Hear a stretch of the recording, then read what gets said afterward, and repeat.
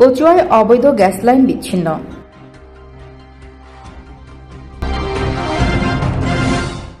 সেবা, আন্তরিকতার আরেক নাম অ্যাপোলো প্লাস হসপিটাল ঢাকা ও কুমিল্লা থেকে আসা বিশেষজ্ঞ ডাক্তাররা প্রতিদিন থাকছেন আপনাদের সেবায়। অ্যাপোলো প্লাস হসপিটাল মমতাজ ভবন, দক্ষিণ শতানন্দী, বলদাখাল, দাউদকান্দি, কুমিল্লা। চাঁদপুরের কচুয়ায় অবৈধ গ্যাস সংযোগ বিচ্ছিন্ন করেছে Comilla Bakhrabad gas distribution company limited.